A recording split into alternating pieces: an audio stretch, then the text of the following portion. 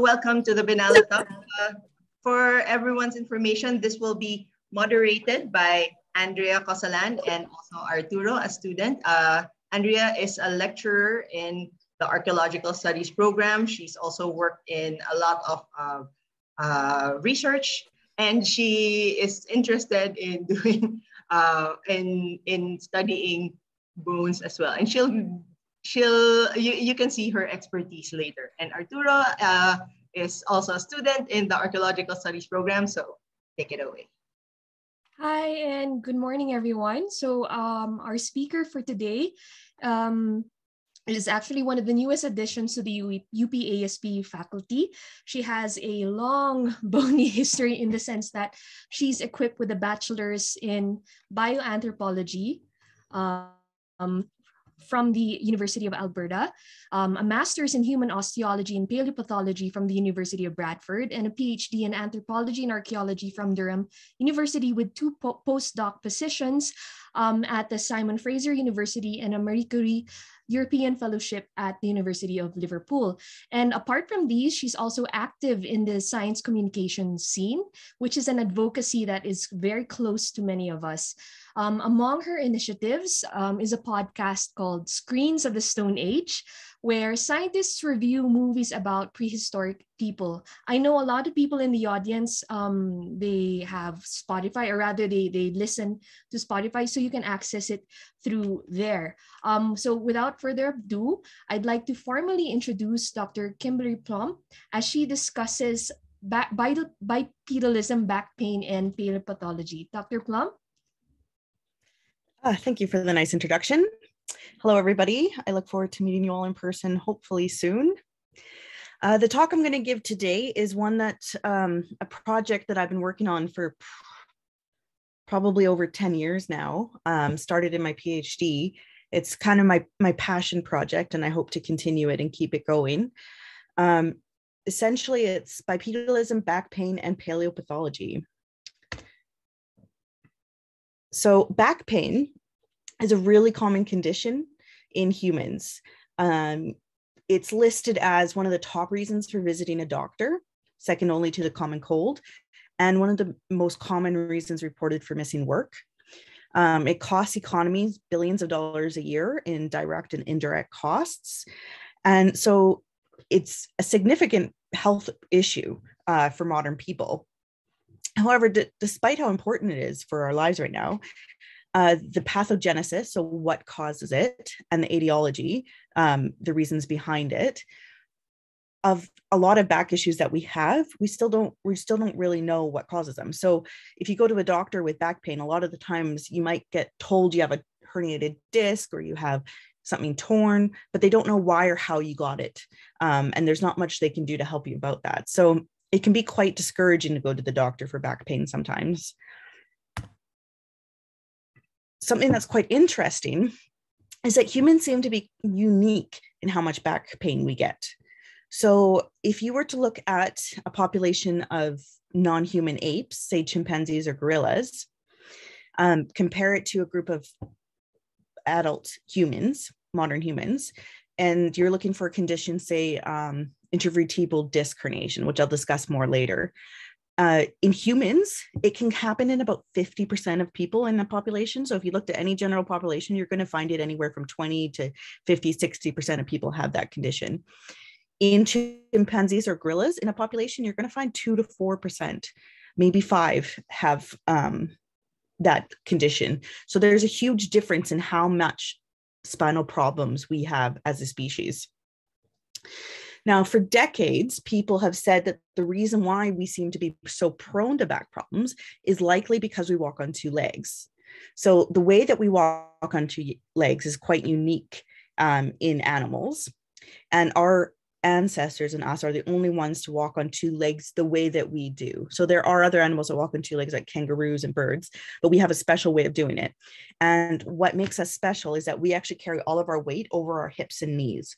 So our and our spine. So our spine holds all of our weight. And anytime you take a step or you move, there's going to be movement and pressure on the spine. And so some people have said for decades that it could be that this adaptation to walk on two legs made us at more at risk for back problems. Um, and although this was kind of this was accepted as a good idea, it hasn't really hadn't really been tested. In my PhD, I found that the shape of vertebrae, uh, so the two-dimensional shape, so I just used photographs for this paper, the two-dimensional shape of vertebrae, human vertebrae, seemed to correlate with whether you had a disc herniation or not. And I'll go into disc herniation in a moment. So I was able to say, well, with looking at the shape of someone's vertebrae, I was able to say with about 70 to 90% accuracy whether that person would have disc herniation or not. So the relationship between the shape of the vertebrae and whether you have this condition is quite strong. So disc herniation is what happens. You might have known people who have it. It's, it's quite common. And what it is is that in between your vertebrae, so the bones of your spine, is a soft tissue disc, and it's called the intervertebral disc, and it sits between the bodies of your vertebrae so that when you move, it has soft tissue to move around with, like a joint. Otherwise, it would just be bone on bone, and you wouldn't be able to move your spine very well, and the bone would break down. So, this soft tissue allows for your spine to be mobile. It has um, cartilaginous fibrous layers around it, but in the middle, it has what's called a nucleus pulposus. It's like a gel like substance, so like a hair gel type of substance in the middle of it. And that's what causes it to be able to move and adjust as, as you're moving around. You can think of it like a, a partially inflated tire or something so that you can move it so it squishes around. So, what happens with a herniated disc is that this nucleus pulposus pushes out of the intervertebral disc. If it pushes out into the spinal canal, so if it pushes vertically, that can be really painful because the nucleus pulposus will pinch, it'll push and pinch the spinal cord, causing pain. If it herniates is up or down into the vertebral bodies, it can leave these depressions on the vertebral bodies here that are called Schmorl's nodes. So bone will resorb and eat itself away where it doesn't, where there's pressure it doesn't want any kind of pressure or infection or anything bugging it. So as soon as that pressure of that fluid hits the bone and is building up and going against the bone, the bone is just going to eat away at itself to make that depression to make room for this new soft tissue. And we can see this in archaeology. These Schmorl's nodes are identify, identifiable in, in human remains. so I was wondering in my PhD, why would there be such a strong correlation between vertebral shape and the presence of these conditions. And so that's what I wanted to test with my postdoc. So I thought, since there's this hypothesis that walking on two legs being bipedal causes these back problems, and we find this correlation with this um, disc problem and the shape of vertebrae, maybe it's the shape of our vertebrae and our evolutionary adaptations of the vertebrae to be able to walk on two legs that can be that explanatory factor between humans bipedalism and back problems so it could be the mechanism or part of the mechanism of why um, our spines seem to be at risk of de- developing these conditions so I did a similar study for my first project. So I used the two-dimensional landmarks again. So these same ones, I took photographs of vertebrae of um, humans, chimpanzees, and orangutans and the humans were people with and without Schmorl's nodes. Then I used geometric morphometrics, which are statistical shape analyses. I don't know how much of a background you guys have in these. I'm not going to go over the methods too much right now, but definitely um, if any of you are interested in learning the methods or using them for your, your own research, um, I'm more than happy to teach you and show you how to do them.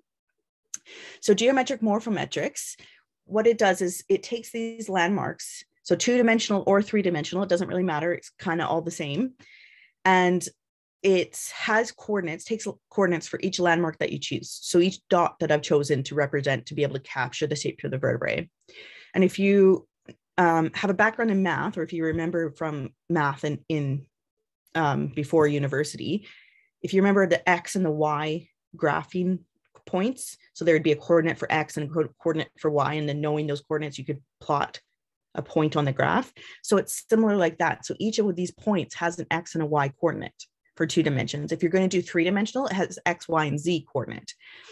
And so what it does is it takes all these coordinates and then you run a statistics on it and it wants to look for the actual shape difference between the vertebrae. So first I would do generalized Procrustes analysis. Generalized Procrustes analysis, it gets its name from the Greek myth of Procrustes. And so Procrustes was this guy who lived in a house. Um, and if you came to visit him, he would invite you to stay overnight, but you had to sleep in whatever bed he gave you. And if he gave you a bed that was too long for you and it didn't fit because it was too long, he would stretch out your body um, on like one of those horrible medieval devices where they tie your arms and legs and they stretch you out um, until you fit the bed. If the bed was too short for you, he would chop off parts of your body until you fit the bed. So this is a, a, a, Greek myth, and that's where the name Procrustes comes from. So essentially, what this test does is it takes away any of the information about location or rotation. So, say if I had a picture of a vertebrae like this, but it was the vertebrae wasn't aligned properly, so it was a bit twisted. Generalized Procrustes analysis is going to get rid of all of that. And all it's going to do is look at the actual difference between every landmark one, every landmark two, every landmark three, so that what we end up with is just the sh- actual shape of the vertebrae. And we can get rid of size as well. So we don't we don't necessarily need size in our equation. Um, and so once that's what generalized Procrustes does, is it just gets rid of all that information that you don't necessarily want when you want to just look at shape. Then I used regression analysis to minimize the influence of size on shape, so allometry. Um, that allometry is the relationship of shape that changes with size. So from the shape of a female gorilla to a male gorilla, they're going to have standard shape changes that occur because of the size difference of the animal. That's called allometry. Now, because I'm looking at different body sized animals, humans, chimpanzees, and orangutans, I didn't want body size to be a factor in this. So I just removed it from the data. I then took this data, that's now it's called superimposed data, and I ran a principal components analysis. So principal components analysis is going to look at the shape variation. So if I put in all the information for the vertebrae in it, it's going to look at it all and it's going to say, this is what, this is the biggest difference in the sample. This is the second biggest difference in the sample. This is the third biggest difference. And it's going to show me what those are. And I'll show you guys the PCA results in a moment. Then I use pairwise MANOVAs, which are multivariate analysis of variation. So similar to an ANOVA, but this but you can use multiple multiple variables. Um, and that's just going to look for a p-value for significance. So are, are the differences and relationships that we're seeing between the vertebrae statistically significant or not? So this is the results of my first two-dimensional study. This is a principal components chart. So the x-axis here describes the largest amount of shape variation occurring in this sample. So the blue rectangles are orangutan vertebrae. The green triangles are chimpanzees. The yellow circles are healthy human vertebrae, and the red circles are ver- human vertebrae with Schmorl's nodes, so with the intervertebral disc herniation. So we can see that the what explains the most variation, the biggest difference in this sample, is the difference between orangutan and chimpanzee vertebrae, so the great ape vertebrae, and the healthy human vertebrae. So that makes sense. They're different species, they use different locomotion. That's what we would expect. Principal component two describes the second amount of shape variation. Now, what's interesting about these findings is that we have the chimpanzee and orangutan vertebrae grouping out on the negative end of principal component one, and the humans tend to be grouping on the positive end. But interestingly enough, the individuals with the disc herniation are grouping more on the end with the great hum, uh, the non-human ape vertebrae. So it's not complete. There are in healthy individuals grouping over there too, but we don't have individuals with Schmorl's nodes grouping all the way at the end of PC1. So there's this trend of a relationship in a shape as you get closer to a shape of vertebrae similar to the great ape vertebrae, your likelihood of getting disc herniation increases. Then I ran a canonical variance analysis or CVA now, CVA is very similar to principal components analysis. So it's the same thing, whereas on the x-axis here, we have the greatest amount of variation explained, and this y-axis, we have the second amount of variation explained. But the difference is, is that before I put the data into a CVA, I tell it what groups I want. So this is kind of like the cleanest, best representation of your of your data that you're going to get. A principal components analysis, I haven't told it what is what. So it doesn't know which which vertebra is great ape, which vertebra is human. But a CVA, it does know. So it's kind of it maximizes the between group differences in relation to the within group distance. So it's the best case scenario for your for your um, data. So if you ever read a paper and they're presenting CVA results for geometric morphometrics, but not a PCA, you have to be suspicious because you can have a PCA that shows you nothing interesting and a really nice CVA. Um, so you want to make sure that you're seeing both in papers. But what this shows is it really illustrates the relationship between the humans with Schmorl's nodes in red again and how they're completely overlapping with their great ape vertebrae while the healthy human vertebrae are grouping away. So this has exaggerated this difference so we can really see what's happening. As for a p-value, so for statistics, we find that the difference between all of these groups. So if I compared healthy humans with orangutans, healthy humans with chimpanzees, chimpanzees with orangutans, they're all statistically significantly different. So statistically, we can identify which one is orangutan, which one is chimpanzee, which one is healthy human. But the comparison between humans with the intervertebral disc herniation and chimpanzees is not statistically significant.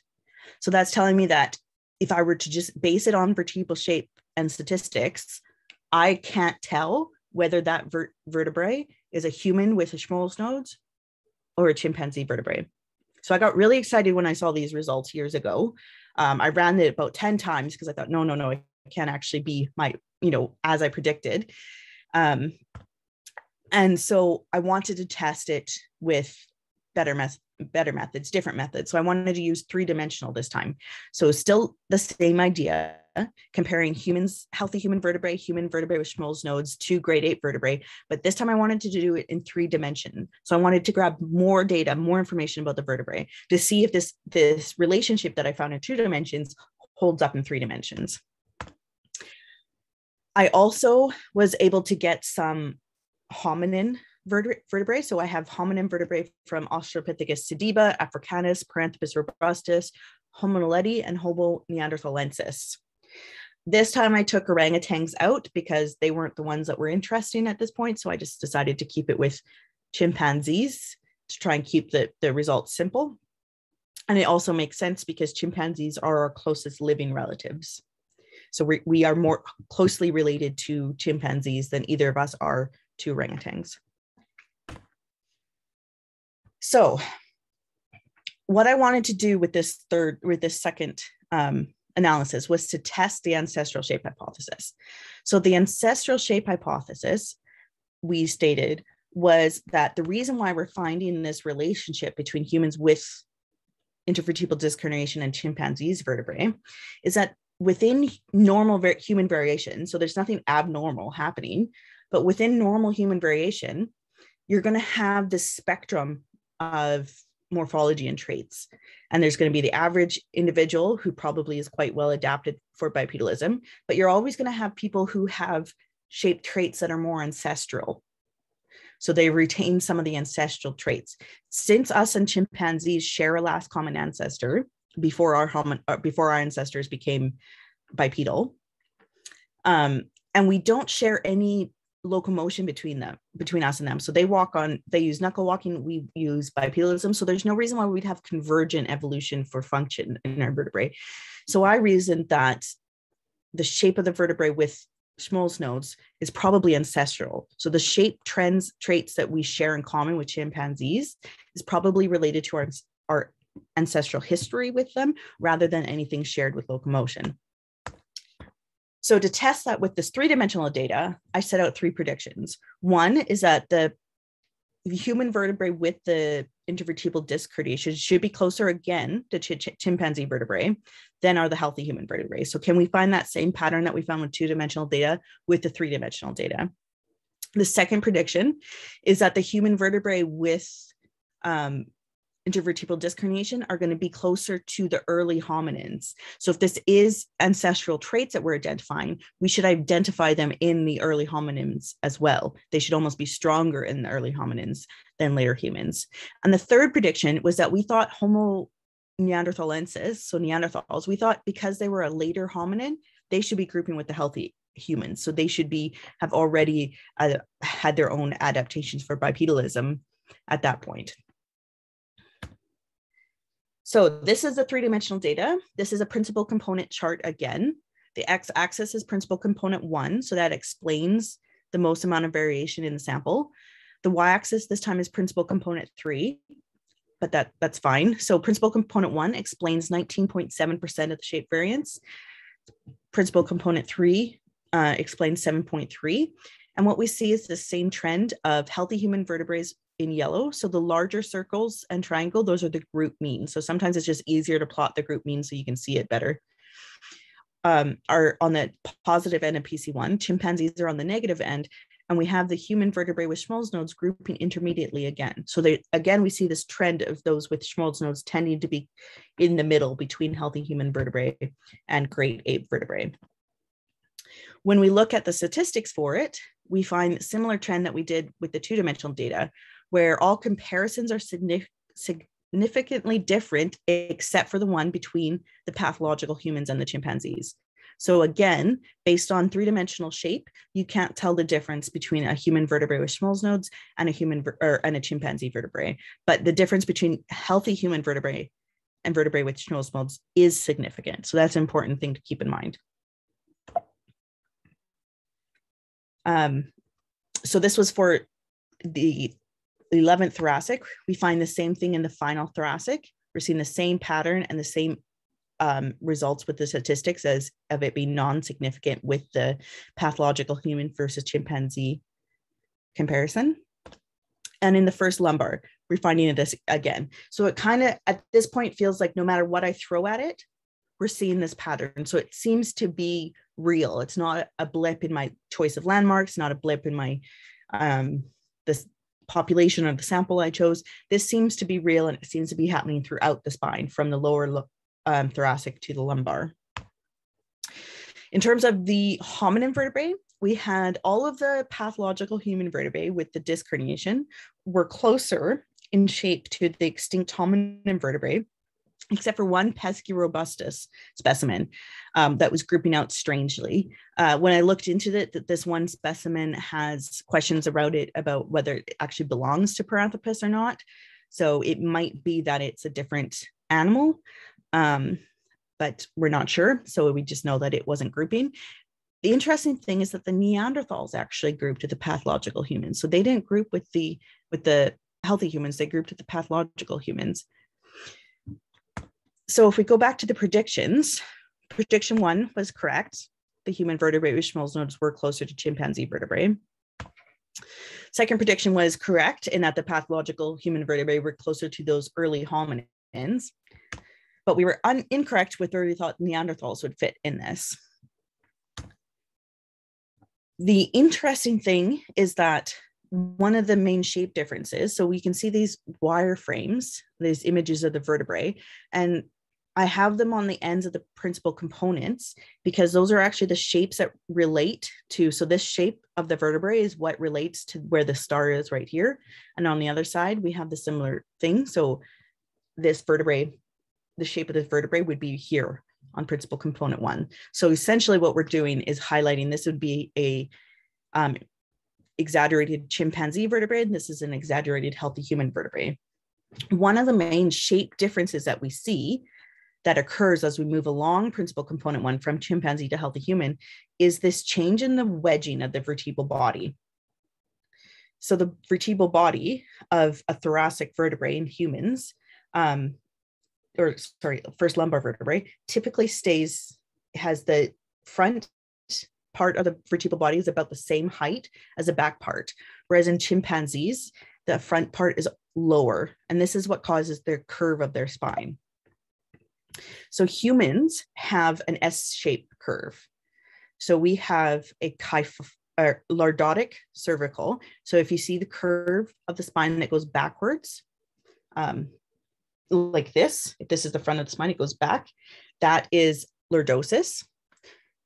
We move into the thoracic where we have a kyphotic, kyphosis um, curve. And then in the lumbar, we curve back again. And that's called the lumbar lordosis. And it's those curves of the spine is what allows our spines to hold our body above our hips, our knees, and our feet. That enables us to walk on two legs. Chimpanzees and other great apes have more of a C shape or straight spine. So that's why their vertebrae are wedged because it's always pulling them forward. Ours tries to make it so that it goes forward, back, and forward so that we can stand up straight. This helps with our center of gravity. So these circles here in the middle of the of the chimpanzee's stomach and then our hips, that's our center of gravity. So when you stand on two legs, the lumbar lordosis, this curvature of the lumbar spine here, or lower spine, pulls our center of gravity over our hips, knees, and feet. That's what allows us to stand and have uh, straight backs. Chimpanzees' center of gravity is up in their stomach and chest. So even when they can stand on two legs, they can only do so for a short period of time because gravity is always going to pull their chest forward. This is what makes the human bipedalism unique. So kangaroos and birds, they have um, their center of gravity is up higher as well. Same with the chimpanzees. So they have different uh, body structures to be able to walk on two legs. So this is what makes human spines unique is having this lumbar lordosis here. Interestingly, in clinical studies looking at disc herniation and disc degeneration, people have found that individuals with disc herniation and degenerative disc disease tend to have smaller lordotic spines. So they have less curved spines and they're straighter. That corresponds to what we're seeing here with this straight um, human spine. So an average human lordosis angle, which is calculated, um, the angle that it makes if you were to draw an angle, I sorry, I should have had a figure for this. If you were to draw um, perpendicular lines from the top of the lumbar vertebrae and the bottom of the lumbar vertebrae, the angle that that makes, it can be, if it's a strong lordotic angle, it's going to be a large angle. If it's a smaller lordotic angle, it's going to be a small angle. So the smaller angles are associated with disc herniation, disc disease. Modern humans, typically, we have a lumbar lordosis angle of 51 degrees. There's a lot of variation in modern humans, so it's not it's not everybody's at 51 degrees. There's a lot of variation, but humans typically have about about 50 degree um, herniation. Humans with disc herniations seem to have a lot lower. So some people have found disc herniations. We saw on the other side at about 40 degrees, and this one is about 37 degrees so that's quite a bit smaller of an angle than healthy humans. As for hominins, Africanus, Australopithecus africanus, has been estimated to have a lordosis angle of 43 degrees. So that's similar to humans with disc degeneration. And Neanderthals, there's two groups of people arguing over this right now. One group has found that they had a 29 degree lumbar lordosis. Another group found that they had 55 degree. So it's quite interesting that there might be a huge amount of variation in Neanderthals too. And that might help explain why they were grouping with the pathological humans rather than healthy humans if they have a different um, degree of lordosis than us.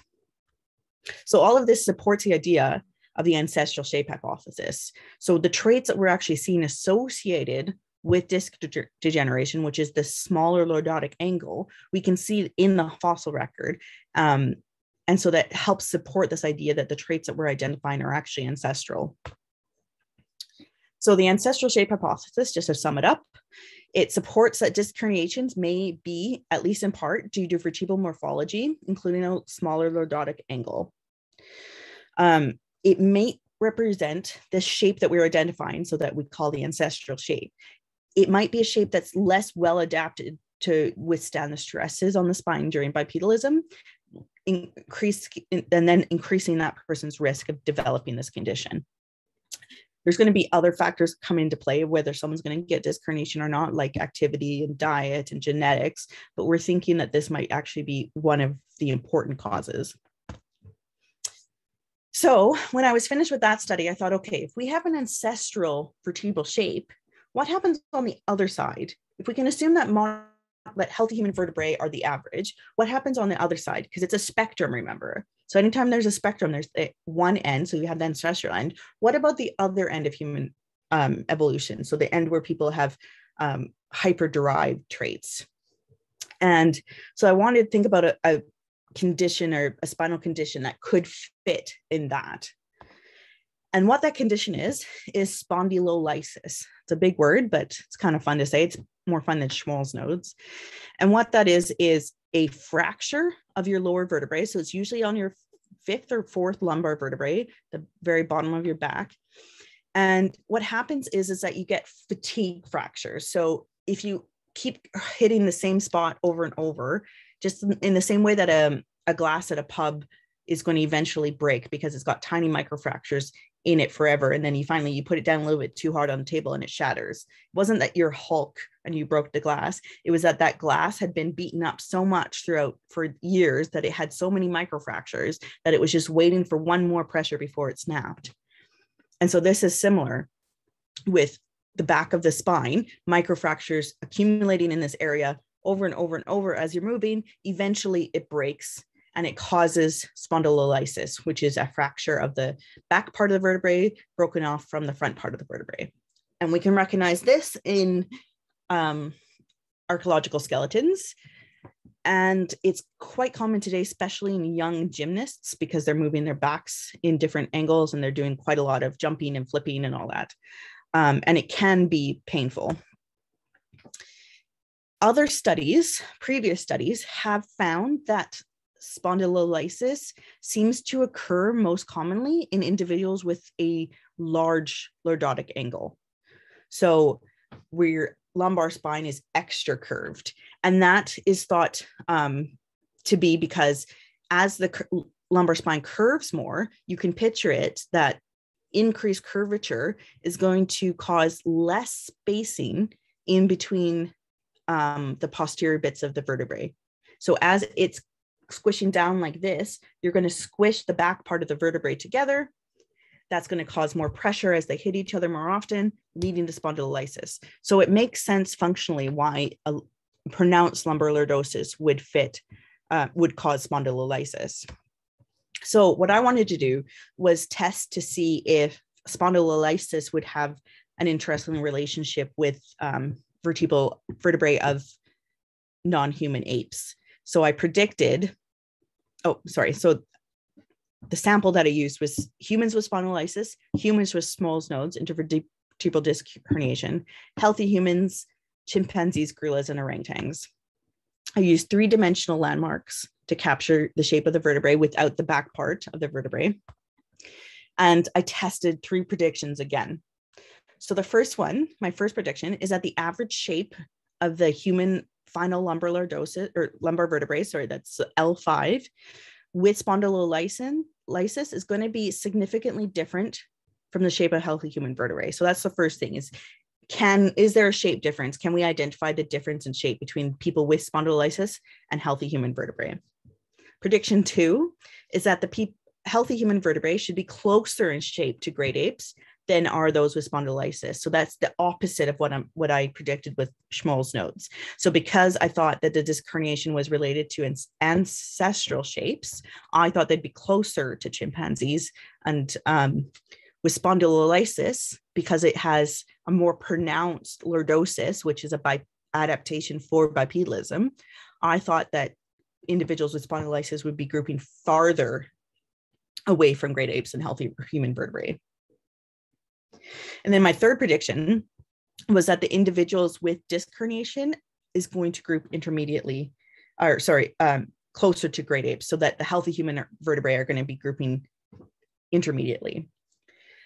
So I thought that if I could find that pattern, it would help this support my argument that these um, shapes that we're identifying are related to evolutionary adaptations for bipedalism. So this first plot is a principal components graph again.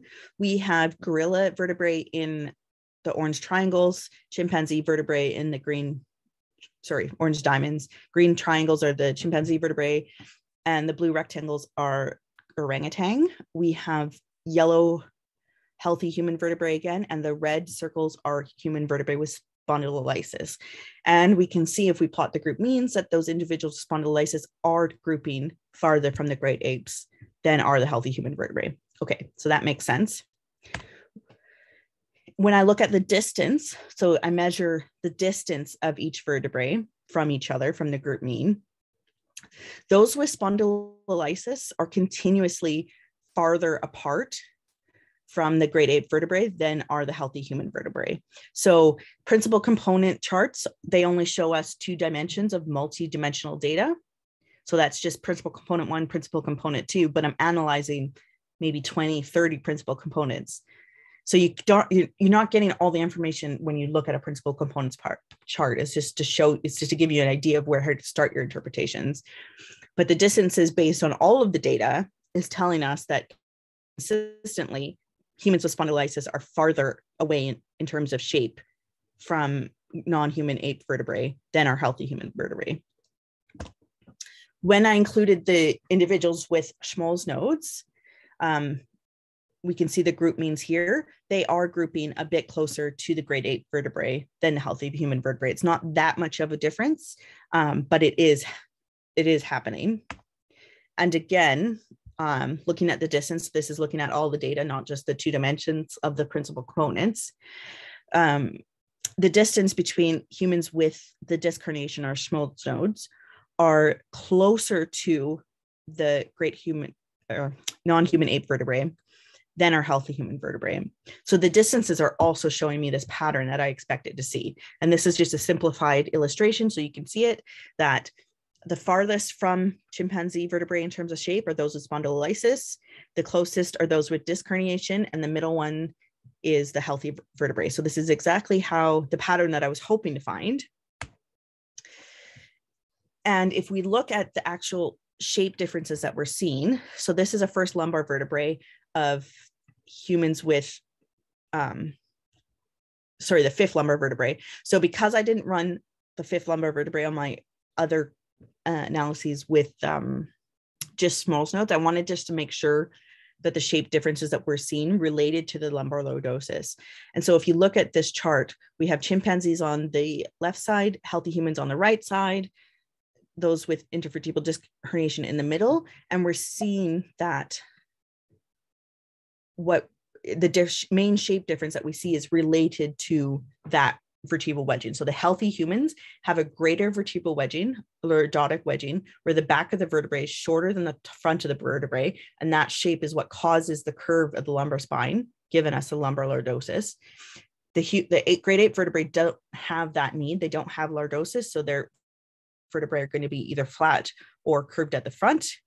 And so what that's telling us is that even in the fifth lumbar vertebrae, the people with disc herniation seem to have um, less of a lordosis, so a straighter spine than healthy human vertebrae. So this is all adding up to supporting this idea that these are linked with bipedal adaptations for um, in our spine and in particular lumbar lordosis.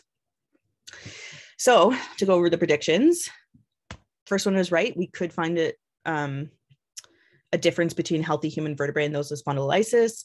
Second one was right in that we did find that humans with spondylolysis were closer to great ape vertebrae, and the individuals with Schmorl's nodes were still the closest. So to visualize this, uh, we came up with this image um, for what we think the, the spectrum looks like. So if you picture this bell graph here, this bell chart, as the evolutionary spectrum of human vertebral shape variation. We have the one end, which overlaps with the chimpanzee very um, vertebral variation. So that's going to be the ancestral end. And if you have vertebrae that have shape traits on this end, you may be more prone to disc herniation and you likely have a small lumbar lordosis or straighter spine. If you're on the other end, the one that's farthest away from great apes, you likely have hyper-derived, hyper-derived or more pronounced um, evolutionary adaptations for bipedalism. So you've kind of overshot the mark. That's why we called it the overshoot hypothesis. Um, and that might make you more prone to spondylolysis and you probably have a more pronounced lumbar lordosis. So overall, we've called it the evolutionary shape hypothesis for an umbrella term for all of these hypotheses, with this idea that where your vertebrae sit within the spectrum in terms of shape probably has um, an important influence on the health of your spine. Um, I would like to test this next with vertebrae from living people in clinical studies to see if we can actually use th- these methods, geometric morphometrics and landmarks, I can use on CT images. Um, so keep that in mind for your research. We can do it on CT images or anything like that. Um, so I, I, will be able to, if I get access to these um, scans, I would be able to put all of my data together. So all throughout human history, the hominin data, great ape data, and modern human CT data together to see if we can identify other shapes that might predispose people to other conditions like osteoarthritis um, and hopefully to be able to test how having different shape vertebrae actually affects your your gait your locomotion um, your stride and how we can relate that to keeping people uh, and their spine healthy and overall, one of the main parts of my career is to try and integrate paleopathology with evolutionary medicine. So there's that great quote that's from somebody famous that says, Nothing in biology makes sense except in the context of evolution. And many people believe it's the same with medicine and evolutionary medicine, um, which is investigating human health conditions with an evolutionary perspective, is gaining prominence in the medical community and I think us as archaeologists are in a prime spot to be able to help with that because we have access to human health throughout human history. And um, so that's one of my main goals. And I think this project really illustrates how paleopathological data can actually be used to help us understand a health condition that still affects us today. And that's my presentation. Any questions? I hope I didn't speak too fast. I know I get on a roll and I, I speak quite fast. So thank you very much, uh, Dr. Plomp. Um, do we have any questions from the audience or any comments? Because um, I, I know a lot of people could relate to the topic in the sense of, of back pain. That's why yes, we have a lot too. of people doing yoga and whatnot to alleviate it. Um, yes. Any questions? Yes, uh, I think we have a question right here by uh, Ma'am Grace, uh, currently in the chat. So I'll read it aloud uh, so that everyone can hear it. Uh, hi, Kim. interesting talk. Oh, wait, never mind. That's a comment, not a question. uh, but yeah. Um, I have. Uh, oh, Servic, go ahead. Hello, Kim. Thanks for the talk. Fascinating. I caught it most. I was in a meet, another meeting, no, simultaneous, but that's that's over. But what's fascinating about this, for, and maybe you can give us your opinion, is that um, okay? So statistically and you know in reality, we you have demonstrated that there's some materiality behind uh, what we call what I would call a factory defect. You know, some people are susceptible to back aches and back pains and back problems than others. Uh, do you think that's associated with um, uh, and this actually um, demonstrates also supports um, um, punctuated equilibrium uh, in in the hmm. sense that uh, it uh, this evolutionary process was uh, quite quick rather than slow, and therefore you do have this kind of uh, side effect, or at least the, you have this kind of population. The second part will be. Um, have you heard of the coccyx, the tail, you know, the tail folklore or or uh, recorded uh, for some no? They they've recorded people with so-called tales no? And and in the Philippines at the turn of the century they've they've uh, recorded a couple of people and they usually associate there's some a lot of sociological and uh, and you know colonial thinking there but um but there are images you know, and in in old uh, where the cock they have an extended coccyx so um so that that's connected again with this idea that is this an, a quick evolutionary process rather than a a slow one? Yeah, yeah definitely. That's, that's a good point. So in the fossil record so we split from chimpanzees um, based on genetic data probably about six to eight million years ago. Um, and we have evidence in the fossil record by about 4.4 million years that bipedalism was already being used. Probably not exactly like us, and those individuals were still able to move in trees, but bipedalism had started to evolve. So that's a very short time evolutionary for such a giant change in the shape of our skeleton and, and the function of our locomotion. So um, it was really quick. And until we get more fossils of that time. We can't really say exactly what happened. Um, we don't even know what locomotion the last common ancestor between us and chimpanzees had, which kind of hampers some of our interpretations. Uh, we don't know if there were knuckle walkers like chimpanzees or if they were um, moved in the trees like monkeys.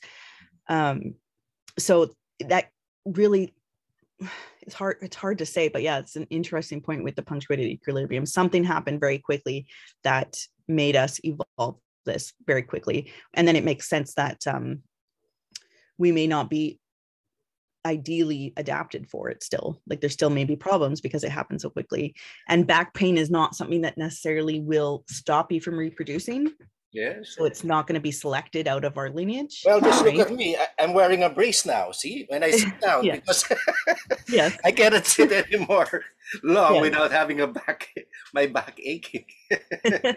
All right, okay. I, I, my tummy's big now, but uh, but no i think most people have back pain at some point. Um and yeah about the tail that's really interesting. I mean it's it makes sense that we would have residual tails and i think it's more common than we know. It usually i think gets just removed at birth. Uh, residual tails um we are primates so it makes sense. But yeah it would be interesting to uh, see those spines so i've never seen one in person yeah. But have you seen a picture of it? There's one Um, uh, in the. yeah. Uh, it's a, it's actually an ifugao. Uh, Yeah. Sure. But uh, yeah. But again, most of it is social rather than uh, biological. yes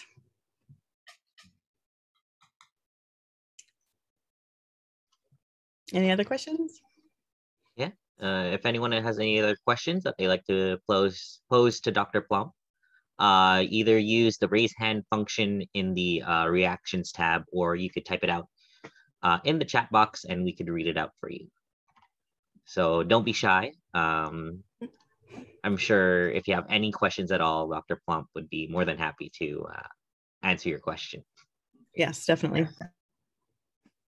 Okay, we have one question here. Um, whether um, w- is there an advantage at looking at vertebral bones rather than leg or thigh bones when studying bipedalism? it just depends on what you're looking for. So we have adaptations for bipedalism in all parts of our body. So we have it in the cranium, the spine, um, the hips, the knees, the feet, ankles, even our arms and and hands. They're maybe not adapted for bipedalism per se, but they're no longer um, adapted for moving in the trees. So our our evolution to bipedalism has drastically changed our skeleton and um, there are differences in the lower limbs, the shape of lower limbs compared to chimpanzees that are bipedal adaptations. Yeah, uh, we have another question here in chat that I'll read aloud. Uh, thank you for an interesting presentation, Dr. Plomp. Any findings that correlate to biomechanics, e.g. hunting, uh, gathering lifestyle of early quote unquote humans with spinal alignment, hence uh, probable incidence of discomfort or pain? And thank you again for the presentation. Um, so that's a good question. So we do have generally the the um, samples that I have are from humans from Iron Age right up to post medieval. So we have um, different subsistence strategies, different types of activities, all correlated. The issue is that I don't have large enough samples of each to be able to really do a comparison. I'm hoping that once I continue this data and I get larger and larger sample sizes, that we'll be able to actually um, distinguish between groups and see if there is a trend with um, changes in subsistence strategy and activity with shape, vertebral shape, or maybe through time, um, things like that. So that that's an interesting question, something I definitely want to look into. All right, are there any other questions? Yeah. Oh, survey? Kim, uh, are you um, when uh, when you finally get to, the, to these islands? Uh, are you uh, do you see a um, an avenue for you to carry on this uh, this research direction? Uh, Definitely. So I have collaborators in Australia mhm. um, that are in are collaborating on this project. So my plan is to start applying for large grants to be able to get it up and running. Pretty much everything is set to go, just need funding. And I'm excited to have access to different collections than what I've had so that to increase my um, diversity of the human variation. Yeah. Yeah. Thanks. Yeah, that sounds like a very interesting uh, upcoming project that I'm sure that many students at uh, ASP would be more than happy to uh, jump in. I know I know uh, several of my uh, cohorts and uh, fellow students are interested in uh, in uh, bioarchaeology and, and human osteology, in fact. So uh, oh, fantastic. So to- I'll be teaching bioarchaeology this term. yes, Yeah, and then hopefully maybe next term I'll be teaching a course um, on human health through throughout human history. Um, and I have a book coming out in April um, that's in, integrates paleopathology with evolutionary medicine. It's really interesting. So if you look it up, it's called Paleopathology and Evolutionary Medicine and Integrated Approach. Um, if you are interested in any of the chapters, let me know and I'll send you a PDF of them. Okay, we sounds have fantastic. Another anonymous question. Um, how does lifestyle and behavior affect these underlying variabilities vis-a-vis nature versus nurture? so there there is going to be um, different activities that cause back problems so with the di- disc herniation um, if you pick up something heavy and you twist your body as you pick it up so if you pick and twist you're going to probably it's going to increase your chances of getting disc herniation so always pick up and then turn um, so there are different things like that that can cause it um, and we're definitely not saying that vertebral shape is the only factor. We're saying that it's one of one of the main factors. So whether if you pick up a box wrong, it could be up to whether you have vertebral shape, what your vertebral shape is, whether whether you're more prone to get the, the damage or not. Um, we haven't found very much um, when I say we, I mean anthropologists in general haven't found very much evidence that the shape of the vertebrae changes very much um, without pathology throughout a human life. Um, so typically, the shape of your neural canal and the shape of your vertebral body stays the same um, with as long as there's no pathology once it's uh, once it's fully formed in childhood. Um, but the studies that have found that have been quite small. So again, that would be an interesting thing to be able to do once I have larger populations. Yeah, uh, there's a comment here uh, in the chat by uh, Bell, the one that posed the question earlier, and I'll just read it aloud. Uh, can't help but think that since we are a quote unquote sitting race, uh, more back problems are in our future since sitting puts a lot of compression uh, to our uh, intervertebral disc, which also deteriorates with age. And yeah, I think that would be sort of a really interesting study to compare us right now, especially. Yeah. Yeah. It'd So to look at. CT, that's what I was hoping with CT, um, with the individuals that I get their CT scans to get their occupation and, and an idea of how often they sit and stand and, and exercise. The interesting thing is that there's there's a lot of factors that have been suggested to cause these back problems. So anything from smoking to sitting to um, uh, you know gymnastics or exercise, gene pool, diet, um, biochemistry. Um, for every one of those factors, there's there's a study that says yes, we found a correlation, and then there's another study that says no, we didn't find a correlation. So it that's why it's been so hard for for medical research just to pin down what's causing these these um, factors. So if you consider vertebral shape as the underlying factor, and if that's been ignored, not really ignored, but just unrecognized in clinical studies, um, so you know if someone has the same diet smokes and sits in the chair two people are doing the same thing all the time. One gets back problems and one doesn't. The doctors don't know why what you know it's the same factors causing both so what's caused it? And it might actually be vertebral shape then. So both are do, having those risk factors they're both doing the risky behavior for back problems but one has the vertebral shape that might actually cause you know a higher chance of developing it. Um, but interestingly, when you look at the prevalence of back problems in archaeological um, populations versus now, they're quite similar.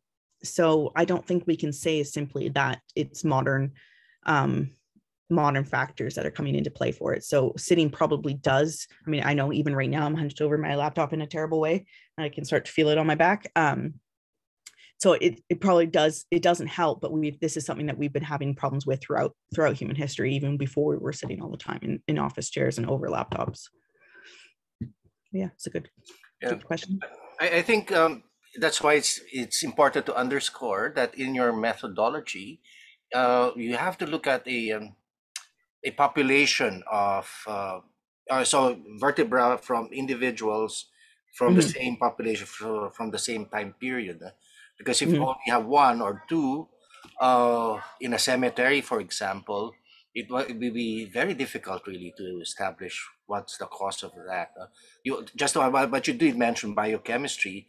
Uh, mm-hmm. For example, my back problem was brought by uh, bio, you know, um, uh, white um, uh, multiple myeloma. You know, so mm-hmm. and that really reduced, and that's why I shrunk yeah. by three inches. So, uh, and but that's hard so there's so many variables that's possible then. yeah there's a lot and there's a lot of different back problems that yeah. Yeah. Yeah. So yeah it's a it's a very complex problem. Okay we mm-hmm. have another question. Um sorry i have to translate it to english. Um how how do you normalize your number of samples? Exam um wherein uh, did you equalize the number of samples per species? And if there was a big difference, how did you correct for it? So um, there was not there uneven sample sizes. That's a good question. With geometric morphometrics, the way that the um, populations or the way that the methods work, as long as you have an all right population or sample size, so over 10, 15, um, 20 for each group, generally they're they're not that big of a problem um, uneven sample sizes and then when i run my analyses so um, discriminant analyses or anything like that i run i cross validate them. So i run per- permutations. So i i run the test a thousand times and then take the average answer. Um, so there's a lot of different ways around uneven sample sizes that's a really good question. But you definitely don't you know so with the hominins, um, I didn't run statistics on the hominin vertebrae because I only had two Neanderthal and two, you know, one Africanus and such. So that I just looked at in terms of distances and where they plotted on the graph. Um, I didn't bother running p values or anything. So there is a minimum sample size that you need in order to make the statistics relevant. Um, but there are ways around balancing them in the statistics if you have une- uneven sample sizes. Okay. And then I, in oh, okay, go ahead. Go ahead, JJ. Oh, yeah, I was gonna sort of jump off of that uh, that answer. And in terms of uh, statistical uh, software that you use to, to when you do sort of uh, have to account for for significant numbers, what what type of software do you use to to do that? Um, so there's specialized geometric morphometric software that you can use. Um, I also use R and SPSS. Another question, since you mentioned allometry, is looking at sexual dimorphism necessary or significant in your study? I asked this as well because um, in, in my own research, I've been asked this a lot. Um, and I suppose in relation to back pain, because um, generally the idea that women are more susceptible to back pain and osteoporosis and, and whatnot. Yeah, uh, it depends. Yeah, it depends on the condition whether whether males and females are are um, have different prevalences. Um, also, it can happen with ancestry pools, so genetic pools. So there's different genetic pools that are most susceptible than others. Um, I kept both males and females of humans and non-human species in it because I wanted to capture all of the species variation. And previously, when I have looked at sexual dimorphism in the vertebrae, um, the it wasn't consistently there wasn't a significant difference consistently so i don't think it's that that large once you remove size from from the data but that would be an interesting project for someone to look at if they wanted to investigate sexual dimorphic differences in vertebrae.